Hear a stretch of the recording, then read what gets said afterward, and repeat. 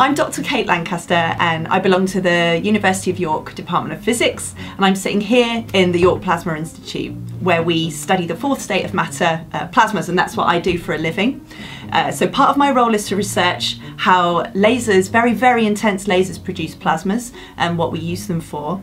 Um, and another part of my role is to teach students, um, currently only master students at the moment, and then another part of my role is to look at what we do here at the York Plasma Institute and try and connect that with industry and try and understand the impact of our of our work in the everyday world because I think that's an extremely important thing. So what I do here at the University of York is I'm a laser plasma physicist. What does that mean? Well, I try to understand what happens when you take one of the world's most powerful lasers, like for example the Vulcan Petawatt laser down in Oxfordshire, and you fire it onto a piece of material. And what happens is uh, you, you take this laser and you focus it to a very, very fine point, so something like five microns. And if you think about five microns, the thickness of a human hair is about 50 microns, so it's a fraction of a human hair.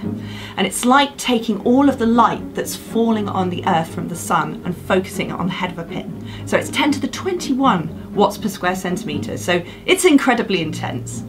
Um, and that delivers energy to a piece of material and the temperatures can be something like the center of the sun, so tens of millions of degrees. And what happens when you, you know, impart that much energy to uh, material, to the atoms, is that they become ionized, i.e. they fall apart, and you end up with a soup of charged particles, so the negative electrons and the positive ions, all swimming around, and that's called plasma. And then we consequently study what that plasma does.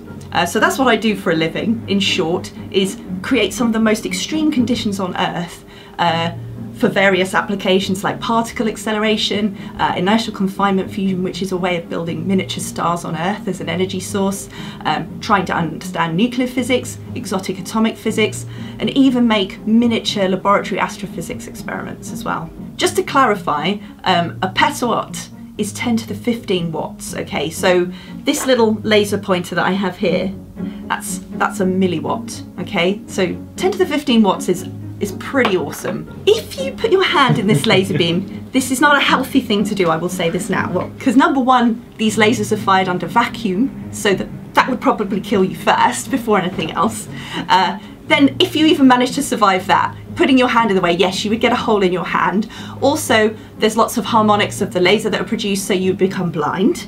Um, and also, uh, then you're producing bursts of gamma rays and other uh, radiation, uh, which is also no good for you. So, so I would say it's not a good thing or a healthy thing to put your hand in the way of a petawatt laser. Also, you'll never be allowed to do that.